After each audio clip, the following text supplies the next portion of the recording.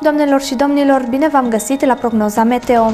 Vremea va fi în general instabilă, cerul va prezenta înnorări temporar accentuate, pe arii relativ extinse, îndeoseb după amiază și noaptea, vor cădea ploi cu caracter de aversă.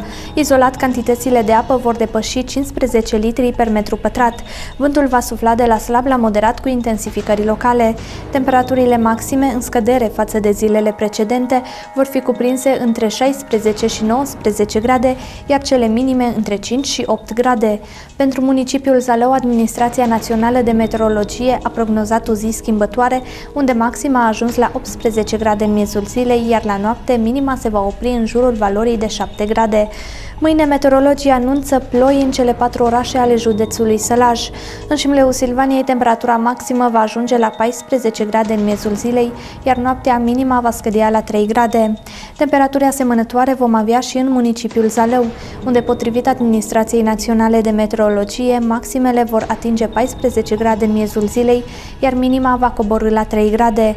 La fel va fi și în Jibou și Cehu Silvaniei, unde maximele vor atinge 14 grade ziua, iar noaptea temperaturile minime vor scădea la 3 grade. În zilele care urmează, vremea se menține pe aceeași linie. Temperaturile maxime se vor situa în jurul valorii de 14 grade Celsius.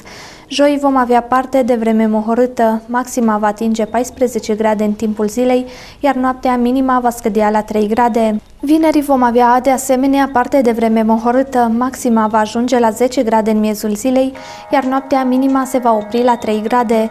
În cursul zilei de sâmbătă, maxima se va situa în jurul valorii de 13 grade, iar noaptea temperatura minimă va coborâ la 0 grade.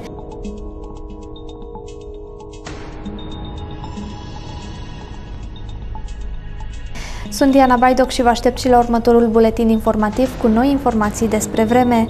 Mai multe detalii legate de prognoza meteo puteți găsi însă și pe site-ul nostru www.sălăjanul.ro. La revedere!